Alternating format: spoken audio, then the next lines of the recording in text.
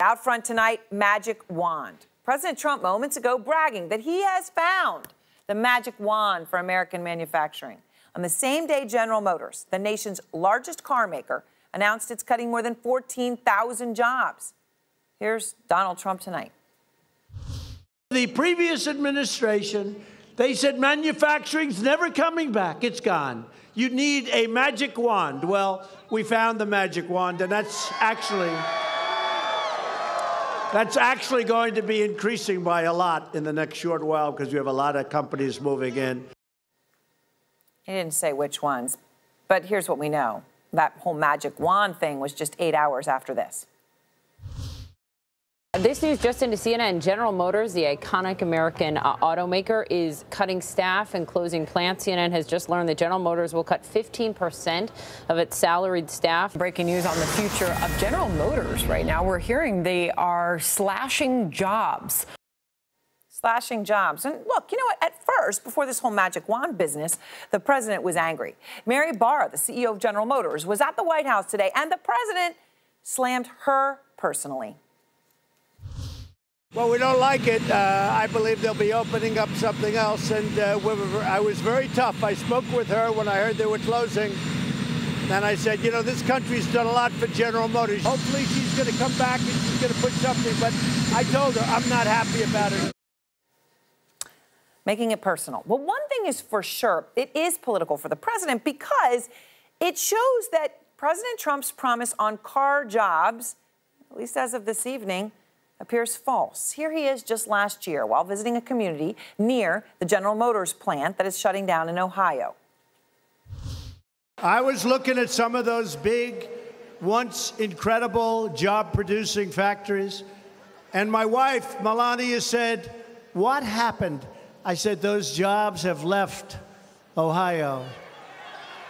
They're all coming back. They're all coming back. Coming back.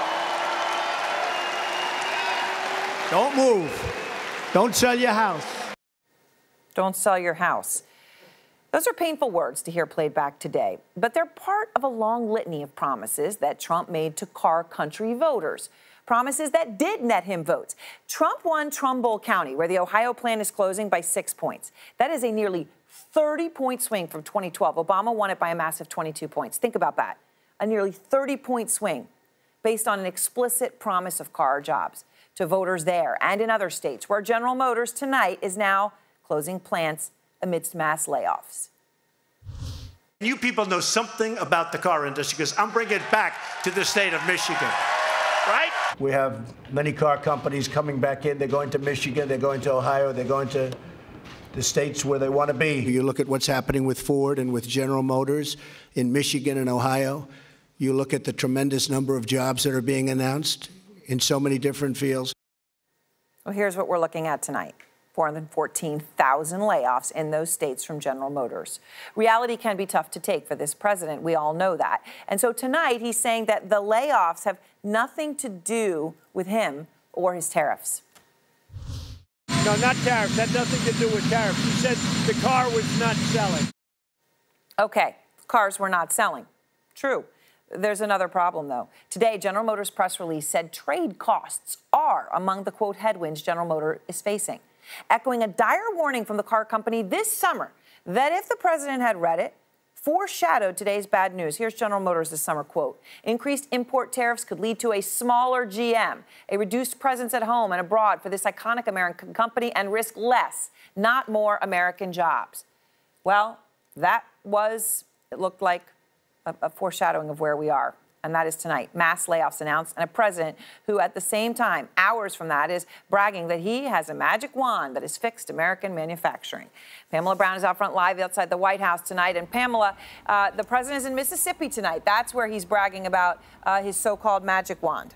Yeah, that's right, Erin. The president responding to this announcement from GM that it will be slashing jobs and closing plants by first criticizing GM CEO Mary Barra and then touting just moments ago at this rally in Mississippi that the trade deals he's been making will lead to more companies moving to the U.S. and an increase in U.S. products. But the president didn't specify which companies he's talking about. He only said that he has found the magic wand when it comes to manufacturing. But what we do know, Erin, is that this move by GM goes against one of the president's key promises. He has made the revival of the manufacturing industry, uh, industry a focus of his, a priority in his administration, and he has a track record of publicly criticizing companies um, that either shut down or move abroad, as he is now doing with GM. We know he talked to Mary Barra, the CEO, last night before the announcement. She was here at the White House today meeting with Larry Kudlow in what was a pre planned meeting,